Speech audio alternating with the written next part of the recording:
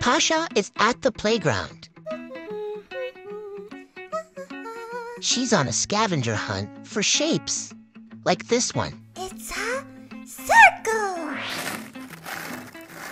Let's find some shapes today.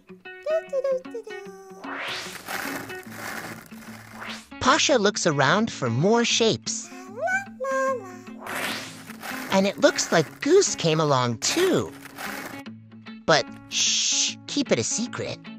She's on a mission to hide all these shapes without being seen by Pascha. Let's hide something here. Goose brings out the first shape. Hmm, where should Goose put it? How about down here? Uh oh, Pascha's coming.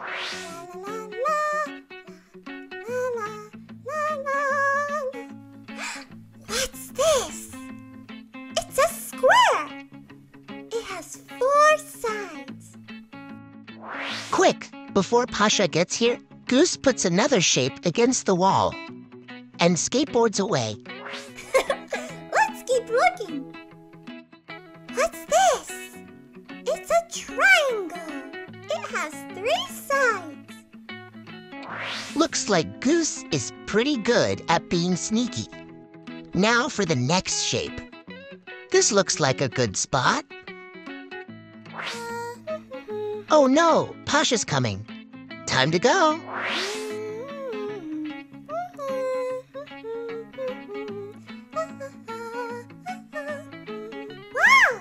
What shape is this? It's a pentagon. It has five sides.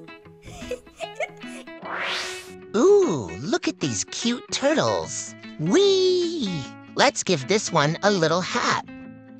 Do you think Pascha will notice? Here she comes. Let's look for shapes. Time to go. They're all around us. I see one. What shape is this?